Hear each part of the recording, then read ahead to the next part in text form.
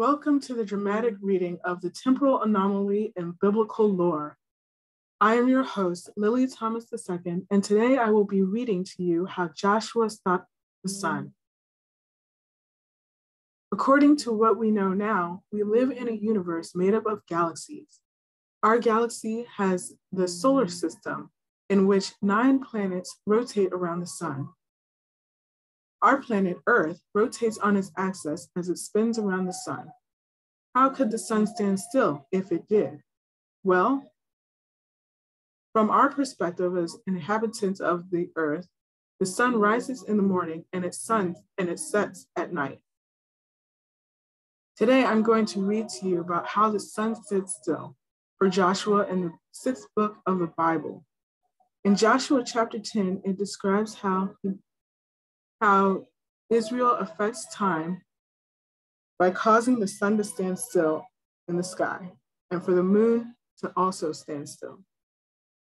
Now it came to pass when Adonizedek, king of Jerusalem, heard how Joshua had taken Ai and had utterly destroyed it, as he had done to Jericho and its king, so he had done to Ai and its king, and how the inhabitants of Gibeon had made peace with Israel and were among them, that they feared greatly, because Gibeon was a great city, like one of the royal cities, and because it was greater than Ai, and all its men were mighty.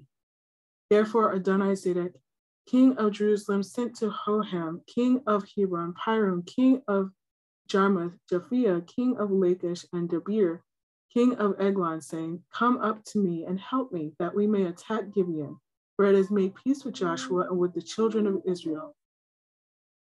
Therefore, the five kings of the Amorites, the king of Jerusalem, the king of Hebron, the king of Jarmuth, the king of Lachish, and the king of Eglon gathered together and went up they and all their armies encamped before Gibeon and made war against it.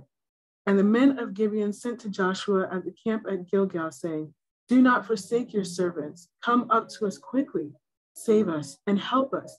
For all the kings of the Amorites who dwell in the mountains have gathered together against us. So Joshua ascended from Gilgal, he and all the people of war with him, and all the mighty men of valor. And the Lord said to Joshua, Do not fear them for I have delivered them into your hand. Not a man of them shall stand before you. Joshua therefore came upon them suddenly, having marched all night from Gilgal. So the Lord routed them from before Israel, killed them with a great slaughter at Gibeon, chased them along the road that goes to Beth Horon, and struck them down as far as Azekah and Makkedah. And it happened, as they fled before Israel and were on the descent of Beth Horon, that the Lord cast down large hailstones from heaven on them as far as Azekah, and they died. There were more who died from the hailstones than the children of Israel killed with the sword.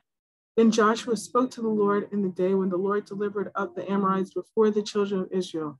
And he said in the sight of Israel, Sun, stand still over Gibeon, and moon in the valley of Ajalon. So the sun stood still, and the moon stopped till the people had revenge upon their enemies. Is this not written in the book of Jasher? So the sun stood still in the midst of heaven and did not hasten to go down for about a whole day. And there has been no day like that, before it or after it, that the Lord heeded the voice of a man, for the Lord fought for Israel. Joshua chapter 10. How Joshua stopped the hands of time by causing the sun to stand still. Thanks for listening. See you next time.